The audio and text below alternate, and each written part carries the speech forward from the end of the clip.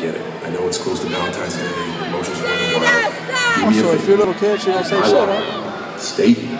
If your little I'll kid, she don't say nothing. bring these to you. Damn, You guys look right alone, at some too, quiet time, do what you gotta do. I'll make sure nobody comes in. Kane is on the loose, man. Please do not leave this locker, all right? Got your back. bro. Okay, guys. Woo, woo, woo. It's all deal. I gotta tell you, it's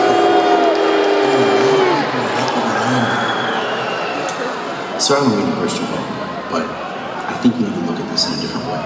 Now, the good news is the board decided to keep you on as interim general manager Monday Night Raw. But the bad news is they didn't say you were the permanent general manager.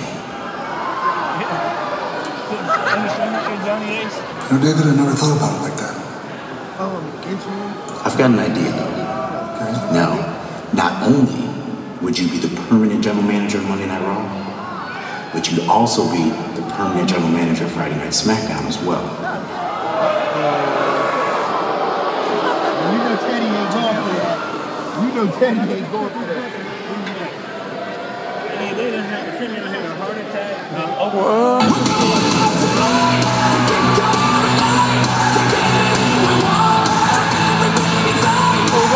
commercial?